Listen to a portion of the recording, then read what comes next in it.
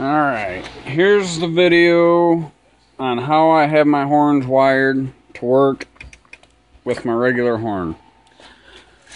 I've got, you'll have to find on your vehicle where the horn relay is.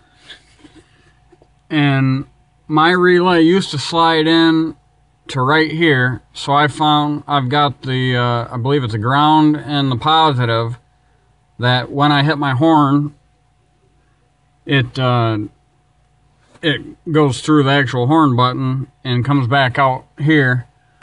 And I've got the separate relay just taped up here, wiring. And uh, so when you hit the horn button, it opens this relay, and I have 120 volts running to the contacts on that relay. The, the actual magnet is powered with the 12 volts from the vehicle, and I've got just a little 140 140 watt power inverter here. And this plug just runs to the to the through the relay when you hit the button. The contacts do not touch. I would advise you to test with a multimeter to make sure that the the pass-through contacts do not have any resistance along with the magnet contacts I also use it, I plug my phone in off of it and charge it while I'm going. I've also used it to power a couple lights in the house while while power was out for, for a day or so, just to have some kind of light. Um, I've got this wired on and off so it's not on all the time. It used to just be one that plugs into your cigarette outlet and I didn't didn't want it sitting there. I've usually got it covered up. I've got it on a switch on my dash turn it on, turn it off. But it just runs. I don't know if you can hear the fan right now. Sometimes it's loud when it's cold.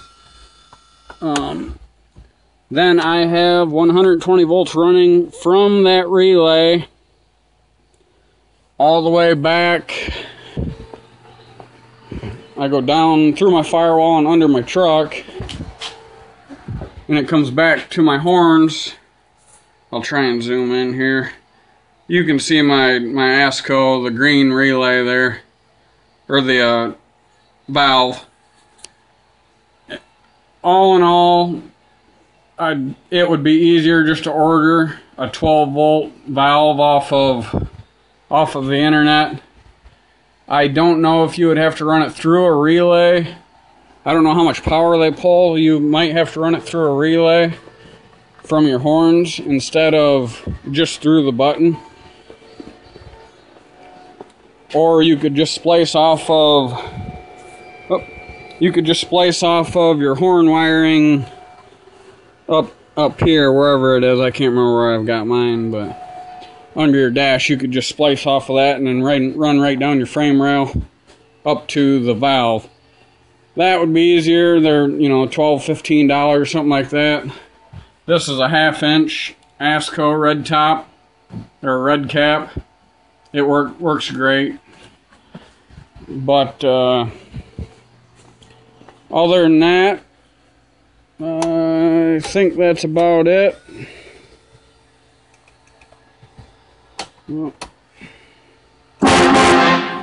Works pretty good. Very loud in here. But that's it. Thank you.